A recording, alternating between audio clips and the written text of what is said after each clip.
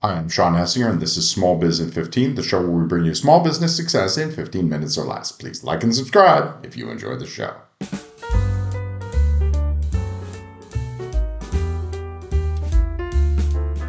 Some small business owners may be too close to their brands to realize exactly what it is their customers value most about their product or service. Some barely understand what marketing is at all. That's okay though, because author and entrepreneur Jim Kukral will open your eyes to a whole new way of marketing your business you never even thought of before. Stay tuned. What I thought is was cool is this idea because we have this idea of um,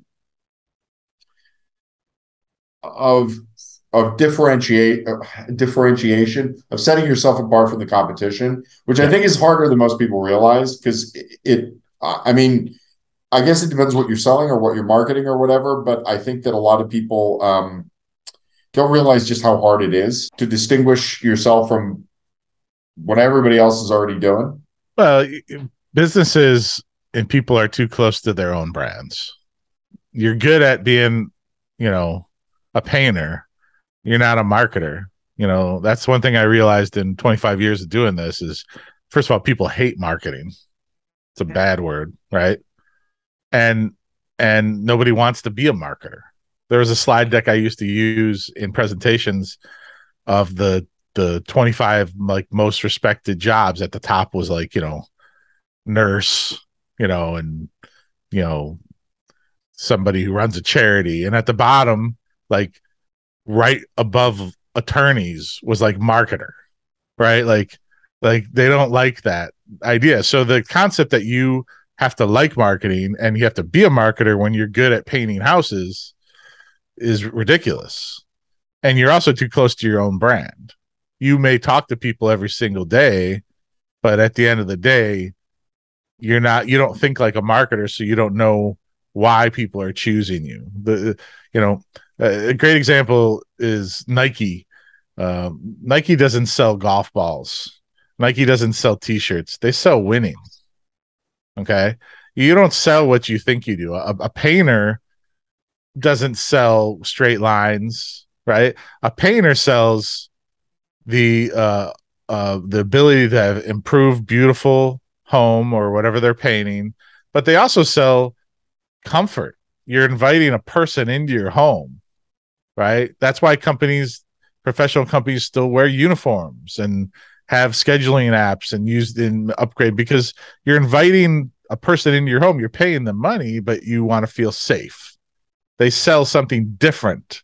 So a person in the suburbs might go yeah well this company is $200 cheaper but i don't want those people walking around in my house because you know they they got a dirty old van or what you know it's like that's why people make decisions to purchase is things like that so th- there are differentiators and you don't have to be marketers to do it the other thing you were talking about was not just story but also actually what you do and the idea that most people who say they do all like the same thing as everybody else that that they're not really thinking yeah. about how they're actually differentiated. I mean, there's actually not that many businesses that are I, I mean that are total commodities. Like even when you think about, I, I don't know how the number, I can't tell you the number of business consultants and or advisors I've worked with, but I've never met two that have the same piece of advice anyway. So I'm not sure why people think that when they're they they're marketing all of a sudden they forget what their what their factor what their differentiation factor is. When you talk about being too close to your own brand, those are the things you miss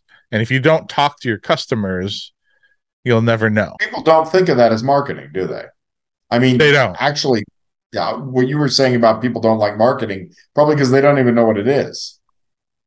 No, people don't. They they think marketing is you know, you know, creating an ad or flyer in the old days or whatever. But nowadays things are different, right? Nowadays it's digital nowadays it's word of mouth. The digital water cooler is, you know, your phone and social media now. It's mm-hmm. not, you know, it's it's not the phone book anymore like you and I grew up with, right? That was how you found stuff. Now it's who's your plumber on Facebook. That's what it is. Or Google Maps or ask your phone who find me plumbers near my location. That's how it works now That's marketing now, by the way. Marketing is is having reviews because people are like, okay, well, there's five plumbers here, and this one has more reviews on Google than the other one. You know, this one's got an easy website and a, a web app. You know, this one has an app that I can download that's going to do this and this. The other one's going to make me call and do all this. You know, tow truck companies is a perfect example of this. If you ever have to call for a tow truck company now, it's all digital. There's no like you don't call the the the the tow truck person. You can, but it's all done by app. You see where the tow truck is. It's like an Uber. Is it going to be at your location soon? How long is it going to take till it gets to you? It's not like you're sitting on the curb smoking cigarettes for three hours waiting for the. Remember the old days? Like that's how it used to be. Mm-hmm. But you're not one of those millennials I was talking about. The people with all the money, they're not doing business with old pick up the phone, wait for them to show up for three hours person. They're doing the business with the one that has this, and that's marketing. That's marketing is having that ability to communicate that you have an app and you're doing all this stuff. One aha realization that you could give a small business owner in terms of in terms of differentiating from the competition and something that most people maybe 99% of the people that you talk to never think about in terms of differentiating their business what what would it be or nobody remembers the middle nobody remembers the middle they don't. So there are 10 accountants in your Northeast Ohio neighborhood. Nobody remembers the one in the middle. People remember the ones on the edges. Why? Who did this different, better? Okay. It's the same thing. You know it. The problem is, again, that we already talked about is you don't think that you can differentiate than all of them. You can. It's going to require effort. But if you want to be known and you want to just stay here, stay fine in the middle. You're fine. You'll have a nice long term, slow, steady growth business for your dry cleaner for the next 30 years. Nothing wrong with that. Want to own the competition? Get out of the middle. Go one way or the other way.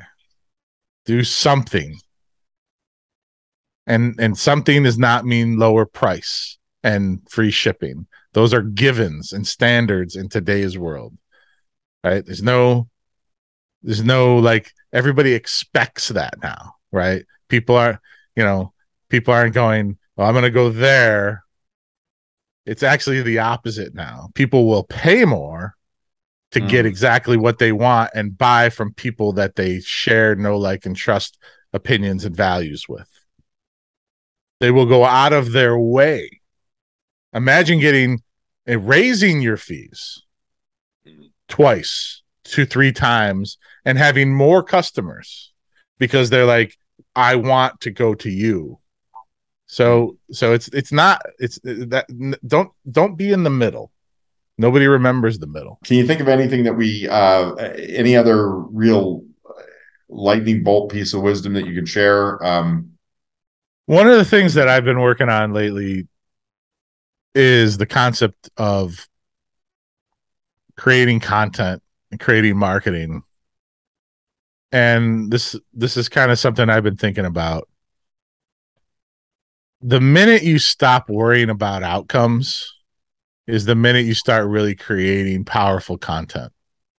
And an outcome is a click or a subscription or a view or a download.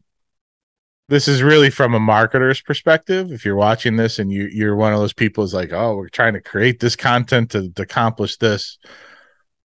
You, the minute you stop worrying about those things is the minute you'll start creating some really remarkable things because you are no longer burdened with trying to do something for somebody else. You're doing what you want to do, what makes sense to you uh, every great play or show, um, uh, book or whatever was written by an original thinker who just thought, this is what I want to do. Here's the problem.